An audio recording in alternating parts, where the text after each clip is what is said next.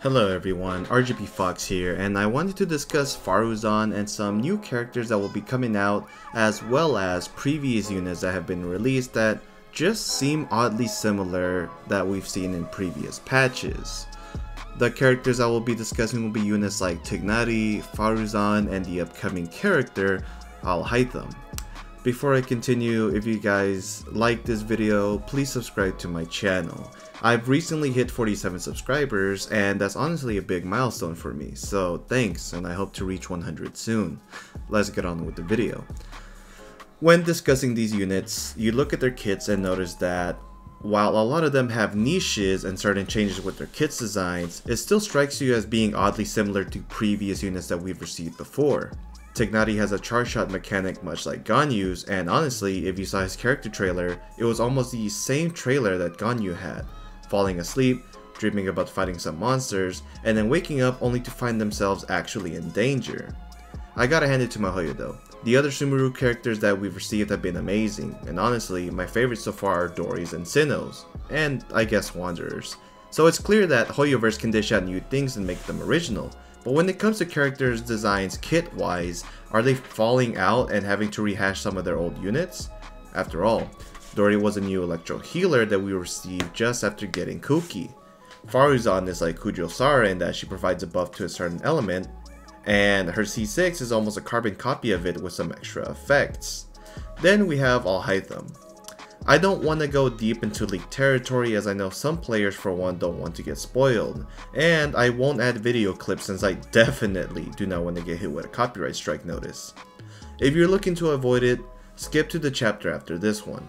You've been warned. Alhaitham's kit has been leaked very early, and it's crazy to see that, despite being everything I've wanted, the man's is almost a carbon copy of Keqing. The elemental skill shooting him towards a certain distance is without a doubt much like her elemental skill, and the elemental infusion he has does work differently in that it cannot be overridden, which is an improvement for sure, but nevertheless, much alike.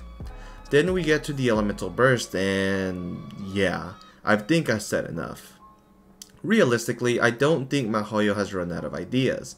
I mean, we have Nahida's kit and Wanderer's kit to look at that shows that they can and will make very creative characters. I love the creativity that comes out of the company when they really try, and I also have enjoyed the TCG that has come out with the 3.3 patch. I believe that Mihoyo will keep reusing old character designs and kits with future characters that release, and I hope that it won't be as often as it has been recently. I get that creativity will be far and few in between, but at some point, it does become repetitive and it can bore people out of playing this game.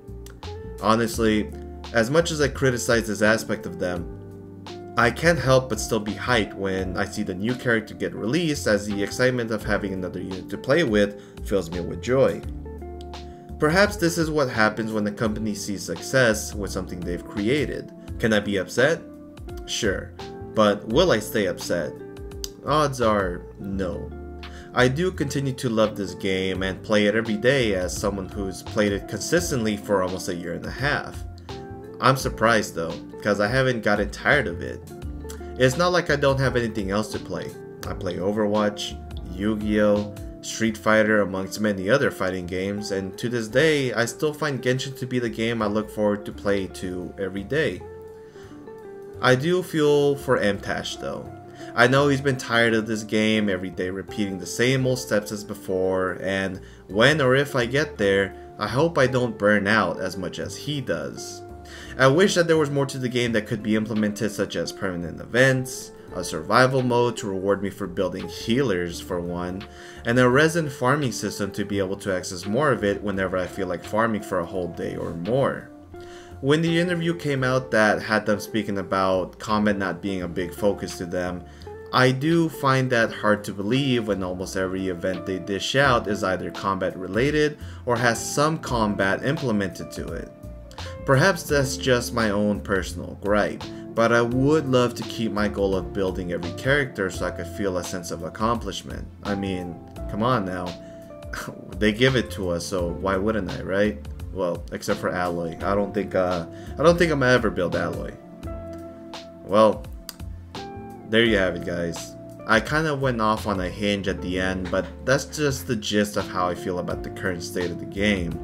If you have anything you'd like to share, start a conversation in the comments below. I know I haven't posted in a while, but I have honestly been enjoying my time off of school as my finals were last week, and I've been basking in the warmth of relaxation. I just wanted to put out a short video out there just so I keep remembering to actually make content, but for sure the next video will be longer. And of course, sooner or later, I'm gonna speak about Raiden as, I mean, who doesn't want to have Raiden in their team roster? So I'll be making a video about how worth it it would be to pull for her at this current state. But, um, you know, just to make it a little bit short, very worth. Anyways, with that being said, I am RGB Fox, and I hope you enjoyed this video, and I hope that you have a very good day. Also, if you're currently pulling for the Wanderer, I wish you the best of luck. Peace.